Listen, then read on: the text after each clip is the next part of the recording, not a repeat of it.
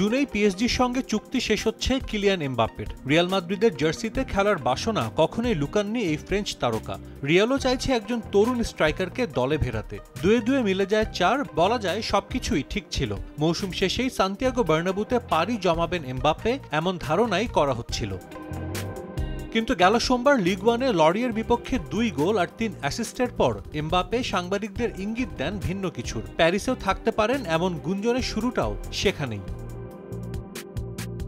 সপ্তাহ পার না হতেই খবর নিল ভিন্ন মোড়। এমবাপেকে নতুন দুই বছরের চুক্তি প্রস্তাব করেছে পিএসজি কর্তৃপক্ষ।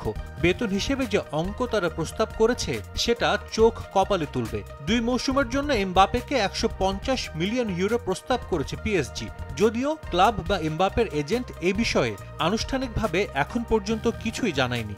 কিন্তু গুঞ্জন যদি সত্যি হয়, তবে ইউরোপের ক্লাব ফুটবলে সবচেয়ে বেশি পারিশ্রমিক পাওয়া ফুটবলার হবেন তেইশ বছর বয়সী এমবাপে যদিও এই অঙ্কটা নিয়ে সংশয় আছে। কিছু গণমাধ্যম বলছে দুই বছরের চুক্তি স্বাক্ষর করলে শুধু সাইনিং বোনাস হিসেবেই এমবাপে পাবেন একশো পঞ্চাশ মিলিয়ন ইউরো আর বাৎসরিক বেতন হবে চল্লিশ মিলিয়ন ইউরো। বর্তমানে পিএসজিতে বছরে বাইশ মিলিয়ন ইউরো বেতনে চুক্তিবদ্ধ এই ফরাসি ফরওয়ার্ড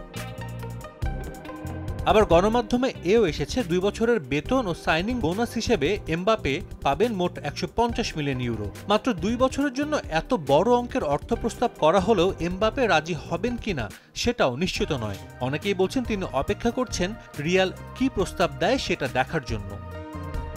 পিএসজির হয়ে দুশো নয় ম্যাচে একশো ষাট গোল ও একাশি অ্যাসিস্ট করা এমবাপেকে কোনো ট্রান্সফার ফি ছাড়াই দলে নিতে পারবে রিয়াল মাদ্রিদ তাই ফ্লোরেন্তিনো পেরেজও চাইলে তাকে দিতে পারবেন চড়া বেতন।